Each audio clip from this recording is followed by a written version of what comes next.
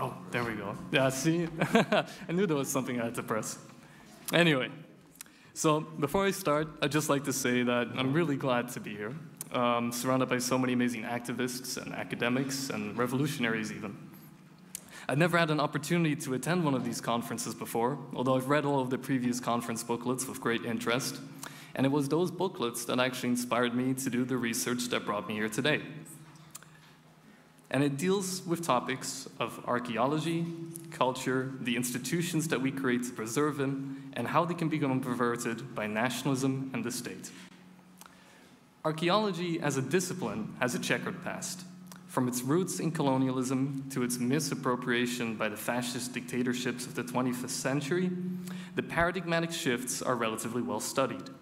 But this history still weighs very heavy on the actual heritage policies decided upon by governments.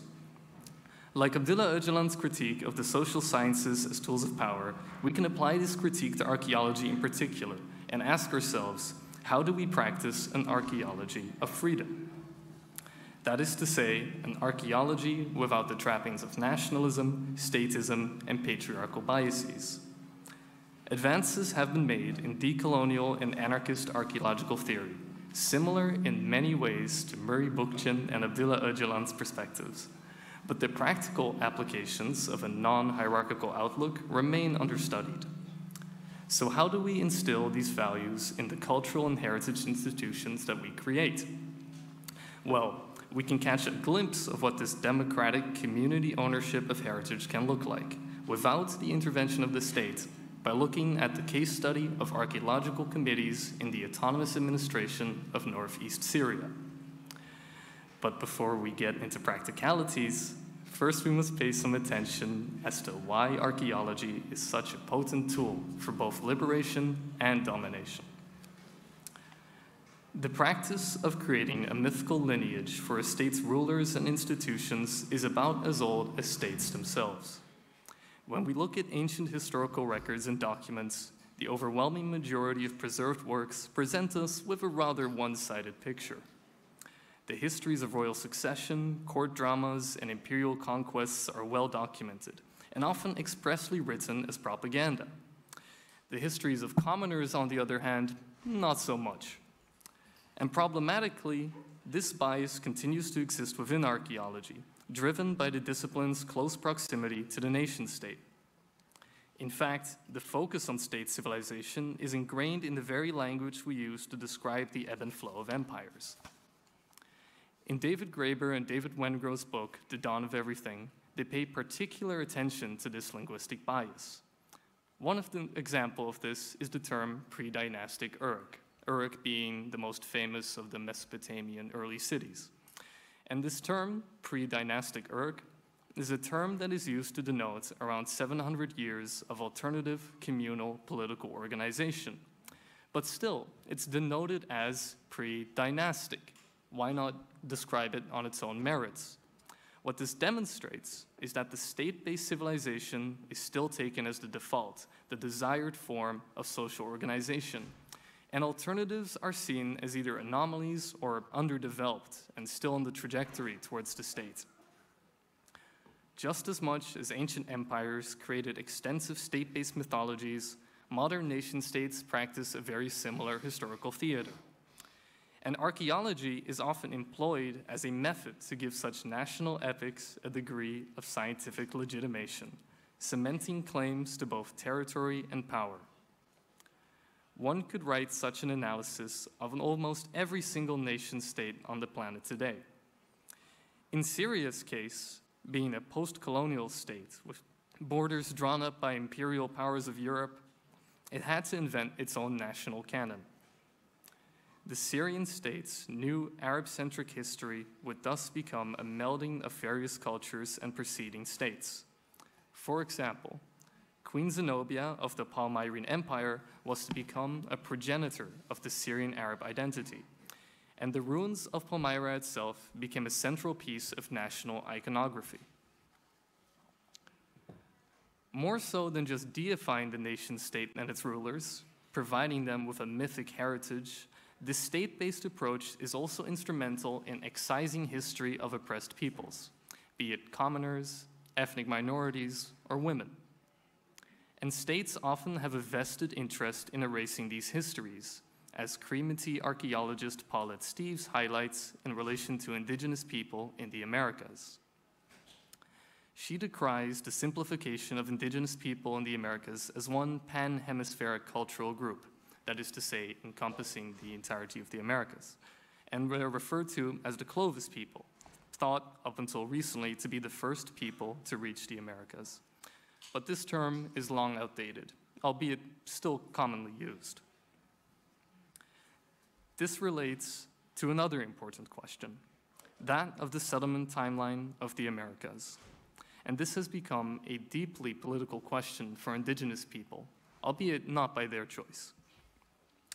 For centuries, early American anthropologists and subsequently archaeologists vehemently denied the possibility of settlement of the Americas prior to 13,000 BCE, which in turn effectively denied indigenous claims to the land established in oral traditions. After all, in the minds of the colonists, how could their claim be any more legitimate than that of the Europeans if they had only been there a mere few thousand years? And whilst the re examination and discovery of more and more pre Clovis sites has been breaking down the Clovis first theory and pushing back the date of arrival in the Americas, it remains a debate fraught with controversy. For Kurdistan especially, there was an immense effort by state sponsored Turkish academia to erase its historical and cultural identity. One of the archaeologists I interviewed during my research, Salah al-Din Sino from Afrin, emphasized that this is part of Turkey's occupation.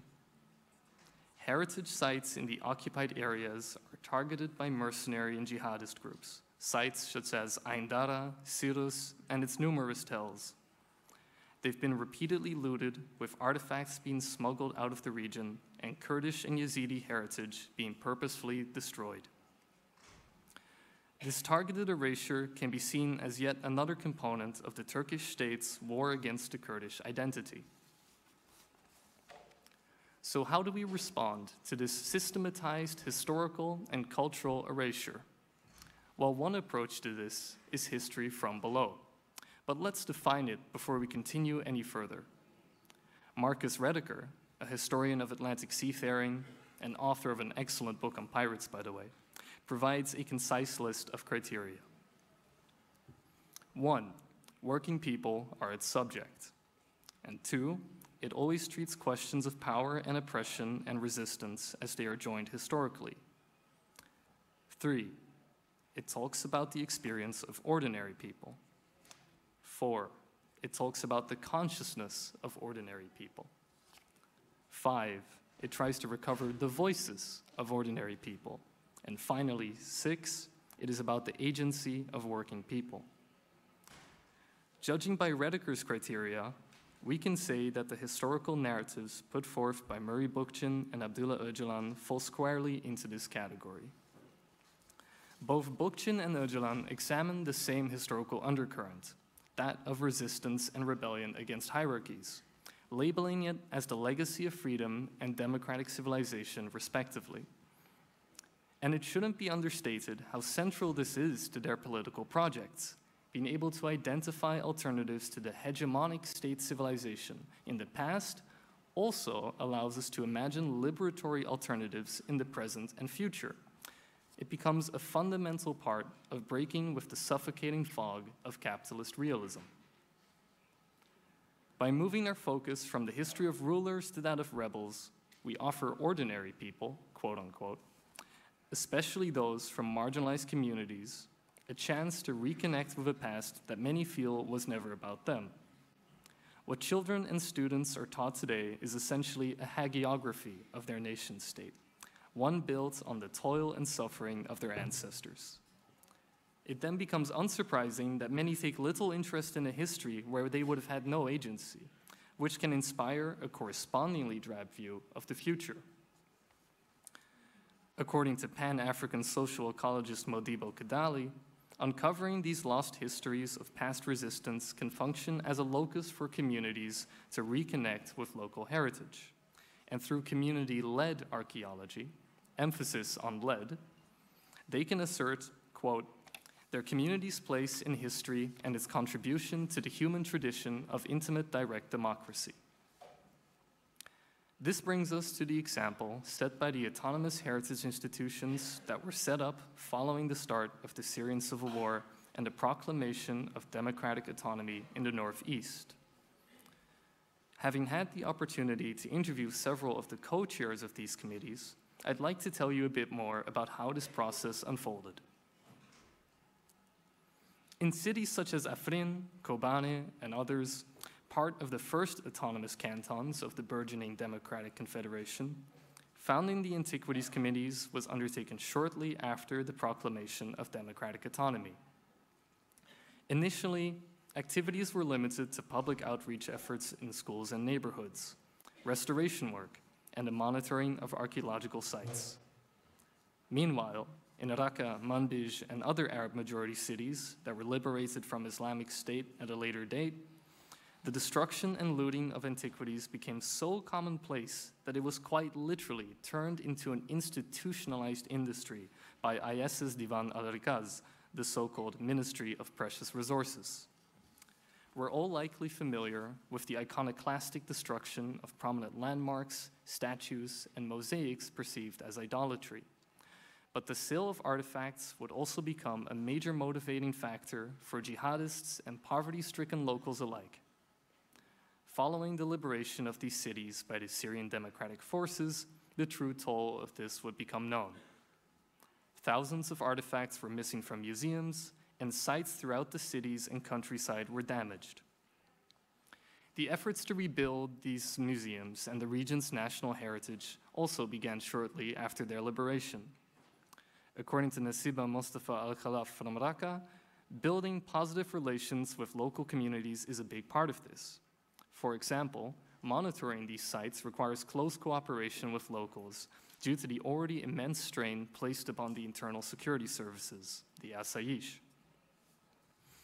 The Antiquities Committees function in a similar manner to other institutions in the autonomous administration. Each region, Jazira, Tabqa, Deir ez-Zor, etc., has its own regional committee, which meet together once a month in the overarching Executive Antiquities Council, which consists of the co-chairs of the regional departments along with the co-chairs of the Autonomous Administration's Executive Culture Committee. As with any other institution, each department practices the co-chair system, consisting of locals from each region, and given its decentralized nature, the new system is a clear departure from the heavily centralized and state-controlled heritage institutions of the Assad government. In contrast to the state's focus on creating a unified national identity, the outlook towards heritage in northeast Syria is that it belongs to all components of society, not a single social or ethnic group. And this approach is very much in line with the region's multicultural history. At the same time, iconography related to the region's past is also beginning to be reappropriated, such as the Zenobia Women's Union adopting the name of the eponymous queen. Decommercializing heritage has become a major focus, with strict provisions being created by the Executive Antiquities Council for the preservation and excavation of sites.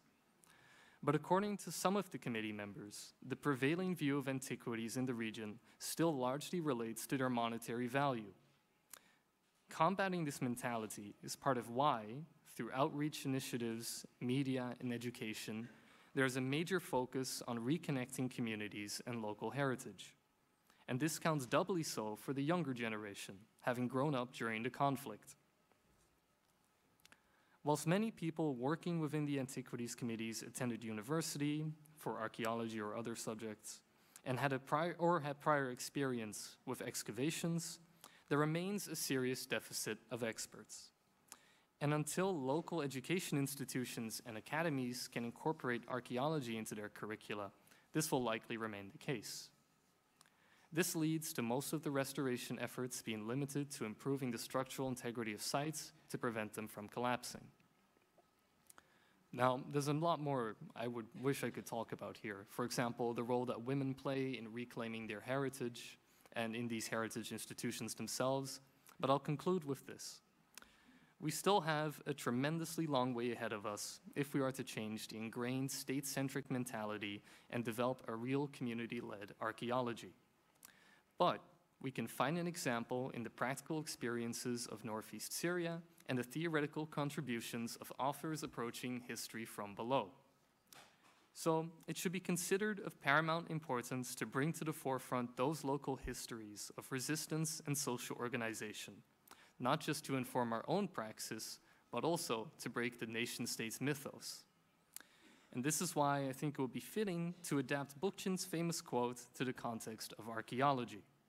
The assumption that what currently exists has always existed is the acid that corrodes all visionary thinking.